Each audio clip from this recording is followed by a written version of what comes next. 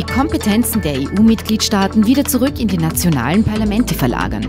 Dieser Ruf wird in der Union immer lauter.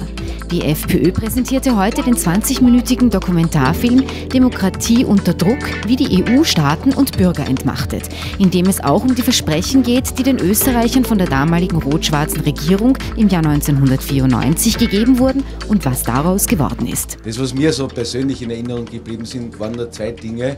Das erste war die Krone-Titelseite. Ähm, wo das Versprechen klar war, dass kein Euro eingeführt wird, sondern D-Mark und Schilling bleiben. Wir alle kennen das Ergebnis.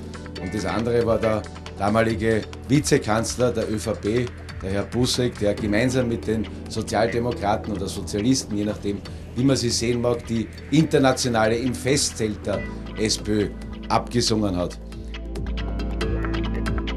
es wird einem eigentlich wieder ganz schwummelig, wenn man all das aneinandergereiht sieht, was uns in den letzten 20 Jahren versprochen wurde und was eigentlich nicht eingehalten wurde. Wir haben eine Regierung, die kein Leadership und keine Führungsstärken zeigt. Es geht bergab in allen internationalen Tendenzen, in allen internationalen Rankings sehen wir das. Wir wollen dagegen eintreten. Der Film soll in erster Linie aufzeigen, wie angespannt das Verhältnis zwischen den Brüsseler Eurokraten und der Demokratie ist.